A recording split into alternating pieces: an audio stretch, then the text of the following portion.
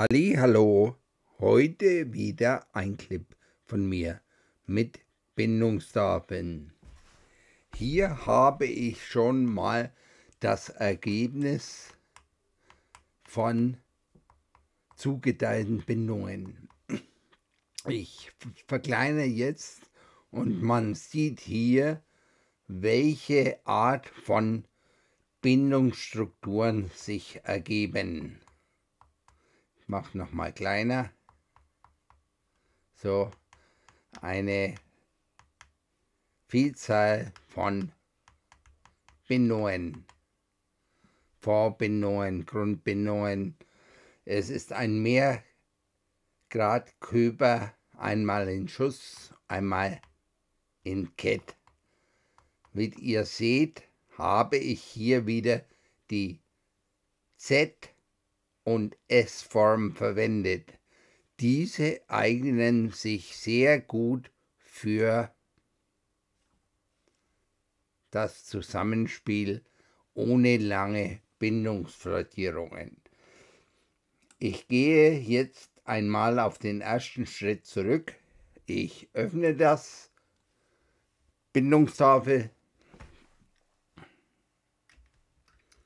Jetzt sieht man sie hier. Als nächstes, da ich eine zehnbindige Bindung Mehrgradköber in Kette und Schuss habe, muss ich meine Bindungstafel jeweils um 10 vergrößern.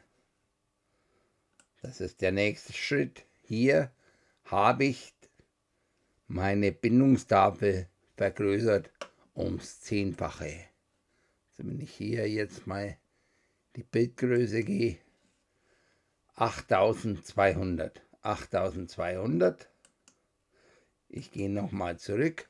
Die Bindungstafel ist nur 820 auf 820. Okay.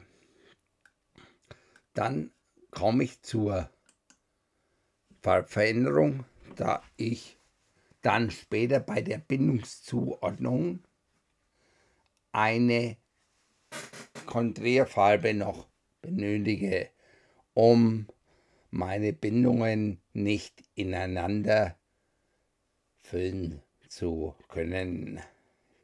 Hier noch einmal die Schutzkörperbindung Mehrgrad in Z.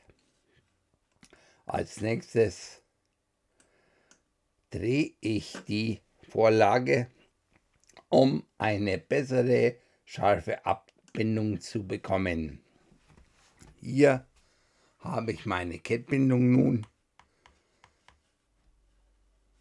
dazu gemacht.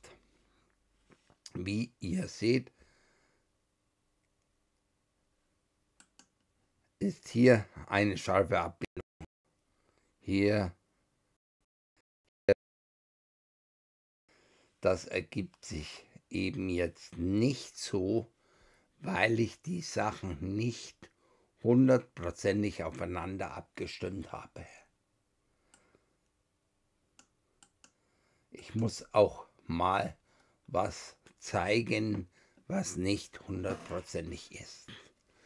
Okay, das wäre es für heute. Ich wünsche euch wie immer alles Gute, Gute, Gute und bis zum nächsten Mal mit einer neuen Bindungstafel oder ich lasse mir etwas anders überlegen. Ciao, bis bald, euer Harry.